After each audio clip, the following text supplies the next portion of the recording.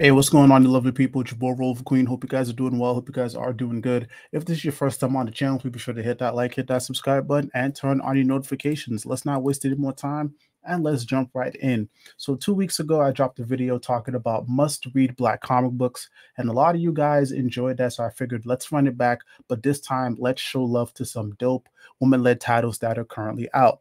Now, if you're one of those people that have an issue with the creative or an issue with a certain character, I don't care. You can waste your time commenting, but I'm not gonna engage. I'm just gonna laugh. So, first book you should check out is Birds of Prey by Kelly Thompson, and the art is by Leonardo Romero. I hope I got the name right. Now, this is Black Canary leading a majority new team of the Birds of Prey, and she's trying to find her sister Sin, who is in Themyscira because there is a huge threat coming, and she has a role to play in it. Now, I gotta say, this is a fun book. Like Kelly Thompson understands these characters, and I think the best written character out, out of the entire bunch right now happens to be Harley Quinn. Now, a little bit of a side tangent, I think this is the best Harley Quinn has been written in a while.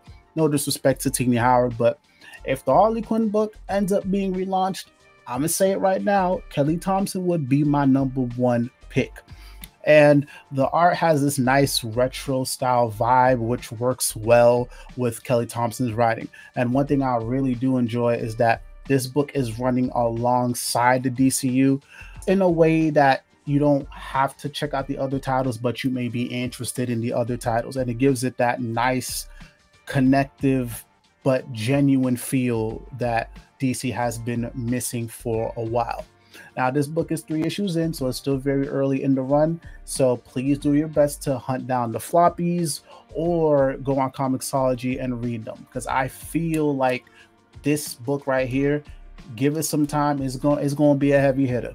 Next book I'm talking about is Wonder Woman by Tom King and Daniel Sampere. Now, I have a previous video talking about how I got in trouble with this book, so I, I highly recommend you go check that out.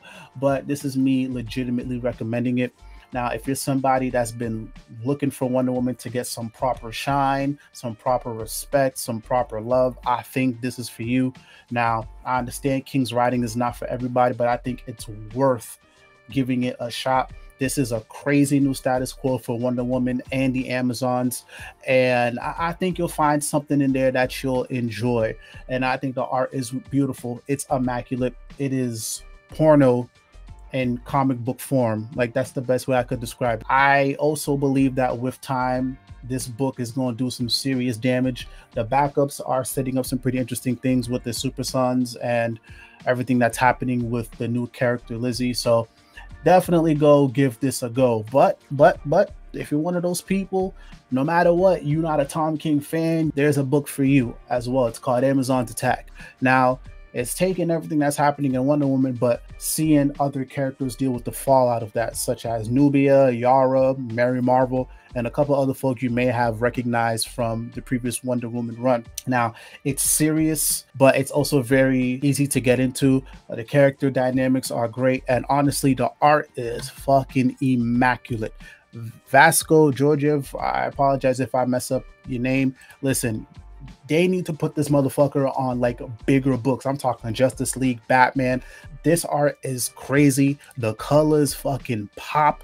Alongside the story being good, the art is amazing as well. So again, if you don't care about the main Wonder Woman title, but you are interested in what's happening in that world, I guarantee you, you will have a great time with this. And I'll say this: I think I might enjoy Amazon's Attack a little bit more than Wonder Woman. But again, both great titles. The other book I do want to recommend is Power Girl by Leah Williams, and the artist is Eduardo Pansica. Again, I hope I don't get the name wrong. Now, I do recommend you check out the Action Comics backups that lead into this ongoing, but you don't really have to. The story is engaging. Superman comes in and gives Power Girl this mission that I think ties well with the other Superman books, and I think it ties very well into what's happening in the Dawn of DC. Now, you don't have to read those books, but if you do read them, you'll see what I am talking about. And again, I know Power Girl has been out of the spotlight for a while, but I think this is a good first step in, you know, building her stature back up, building her presence back up in the DCU. And I really do appreciate Eduardo Pansica's art. Like it gives it that raw, heavy hitting feel. Again, I think this book is going to do some damage also later down the line, but this is also about three issues in. So, like I said before, please go out and try to hunt down the floppies or hunt down the issues on Comixology.